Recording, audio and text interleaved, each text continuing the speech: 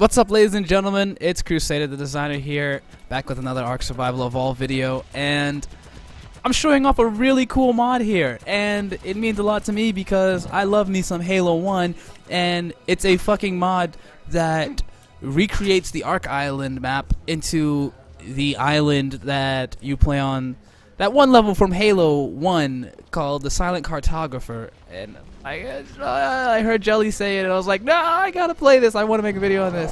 I fucking love me some Halo 1, and the fact that, oh yeah, I, I am in single player, and I just put a whole bunch of points into movement speed because I could not think of any other way of how to traverse this island, and I got me, I forced tamed me a raptor with maxed out movement speed. So if this doesn't like ring a bell from your childhood from the get-go, then I don't know what to tell you, bro.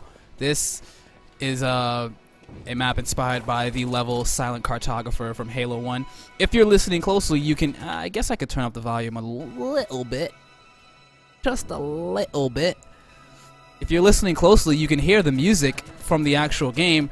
Um, thing about this uh, this map, though, is that everything spawns everywhere. Um, you're gonna have, you see Brontos, Parasaurs, Stegos, you got Pterodactyls, you got Argents, spawning around, and there are scorpions on the pretty much the main uh, land of the map. Um, but what's cool is that down here, if this once again does not look familiar to you, then I don't know what to tell you. I yeah, I tamed the parasaur over here. um, let's try. Let's go over here, and we have one of the light bridges over here.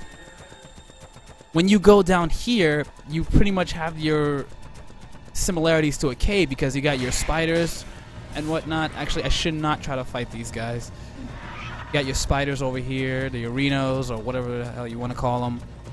Uh, God, let me just wait till this debuff goes away and run with the lightning speed of God. You can, uh, oh, there's Megalodons. I didn't even know that. This is water? Holy shit. There goes the Titanoboa. This is pretty much the cave, the equivalent to a cave on this map. Um, so there's a, another whole part of the map over here. Once you go through this quote-unquote cave or tunnel, um, I'm gonna head up there now. Let's see what we got here. There's a totally whole other part of the map that you go to. Um, the thing about the map is that you still have the options to spawn into West Zone 1, 2, 3, East Zone 1, 2, 3, North Zone 1, 2, 3, but all the zones are considered one zone. So North Zone 1, 2, and 3 is all one zone. South Zone 1, 2, and 3, all one zone. East Zone 1, 2, 3, all one zone. So it's not a huge map, but it's still pretty big. You could still play the game normally if you want. And like I said, I love me some Halo. And everything's uh, everything spawns here. Scorps, Argents, Brontos, Stegos. But the equivalent to a cave is in the tunnels below. Um, and Jesus is walking over me saying my fucking raft is too fast. I had no idea how to traverse the map other than fucking force taming a raptor and putting all the points into movement speed. But I hope you guys enjoy this. You can get it from the Steam Workshop. It's uh, Crusader the designer here.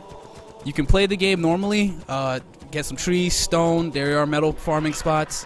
Uh, I guess you can play the game normally and have some fun with it. My name is Crusader the Designer, guys. Have a good night and enjoy the mod.